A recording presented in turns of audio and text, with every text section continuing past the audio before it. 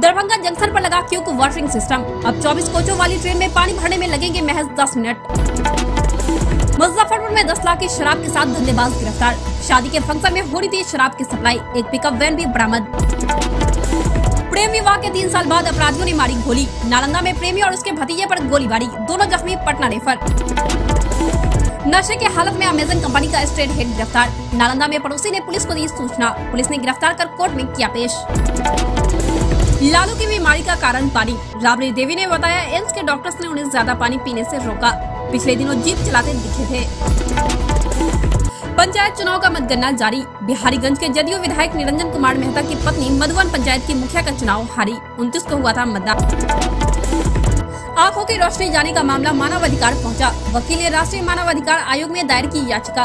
कहा, पीड़ितों का सरकारी खर्च पर हो इलाज। पूर्व बीडीसी के बेटे समेत दो की दुर्घटना में मौत। बर्थडे पार्टी से बाइक पर दो दोस्तों संग लौट रहा था। एक की हालत गंभीर। कटिहार में उनतीस साल की महिला ने किया सुसाइड। शादी के बाद भी मायके में रहती थी। दो साल से चल रहा था इलाज। भोजपुर में दो मुखिया प्रत्याशी अरेस्ट। मतदान के बाद एक दूसरे पर चलाई थी गोली। काउंटिंग के दिन रहेंगे जेल में। पटना में दुष्कर्म के आरोपी फरार। डीएसपी का एक और फर्जीवाड़ा। पति ने दर्ज करवाई एफआईआर। बोली, मेरे फर्जी साइन पर लिया दस लाख का हाउसिंग लोन।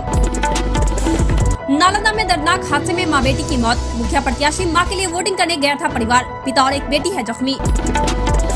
मुंगेर सरकारी बस स्टैंड के सुप्रिंटेंडेंट नशे में अरेस्ट। थाने में कहा, मुझे अल्कोहल मिला, पानी पिलाया गया। पुलिस सुप्रिंटेंडेंट ने ही फंसाया। सीआईएसएफ जवान की पत्नी से छिताई पटना में बाइक सवार बदमाशों ने मंगलसूत्र और सोने का लॉकेट छीना। सीसीटीवी खंगाल रही पुलिस।